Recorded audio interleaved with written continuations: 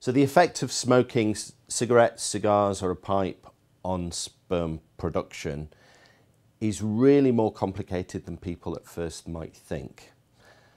There's not a lot of evidence to suggest that by smoking you reduce the number of sperm that are produced by a man. It seems to be that most of the studies suggest that sperm production continues at a similar rate than what we see in, in non-smokers. So when we look down the microscope at the semen of men who smoke, at first glance we don't see any difference in comparison to non-smokers. The sperm also seem to swim just as well, and they also have size and shape that's also very similar to that of non-smokers.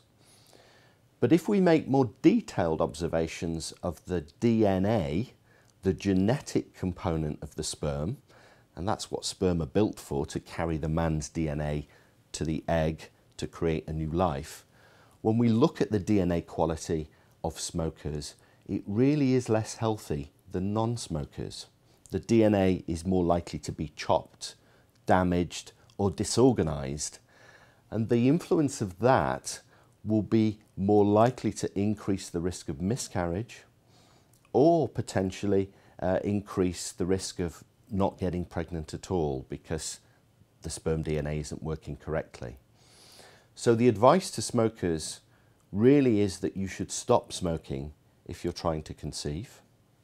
Because we know it takes three months to produce a sperm, you should stop for a long extended period of time and allow all those toxins to get out of your body and allow for new healthy sperm to be produced. And I would argue more than that, you should probably stop in the long term because if you are successful and you have a child, then smoking around children is not something that we would recommend.